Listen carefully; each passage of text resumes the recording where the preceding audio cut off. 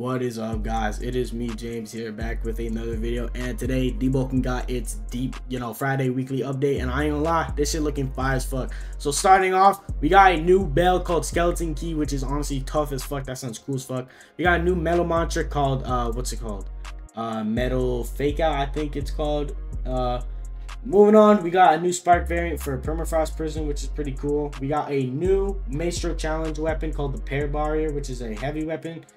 Uh, the I've learned what I can from training line is now more detailed and should give you uh, somewhat more of an insight on how to get more event slash quest XP you need to level up, which is really nice. They finally made training line kind of a less of a bitch to deal with.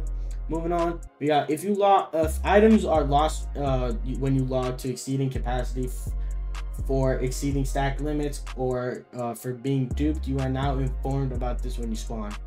Added clear disclaimer for uh, when you're about to return to menu, but you're carrying too much, which is honestly nice. Now, this is all cool, but moving into the bouncing tweaks, I saw some of the best news I've seen in a in a minute. All right, boosted mid to late game XP by uh by a lot by relaxing a lot of the uh, caps on individual XP sources levels 10 to 20 should now much be less agonizing now which means the the grind from level 17 to 20 is finally over bro there's no more doing 27 Ethirons to get to max level bro it is finally over bro i ain't gonna lie.